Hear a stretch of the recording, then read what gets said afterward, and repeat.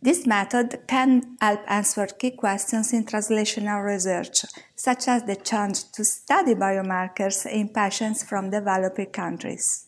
The main advantage of this technique is the possibility to store blood and serum samples for at least two weeks without freezing and provide high-quality material for downstream analysis such as qPCR and ELISA.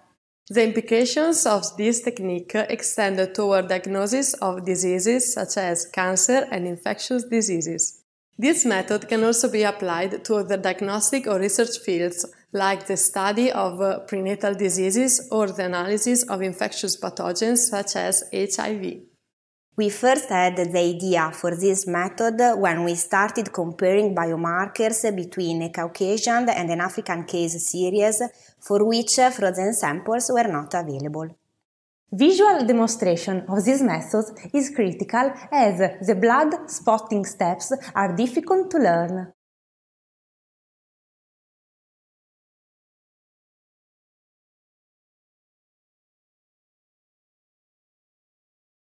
In this procedure, 3 milliliters of a blood sample is collected in a 3 milliliter tube with 5.4 milligrams of EDTA.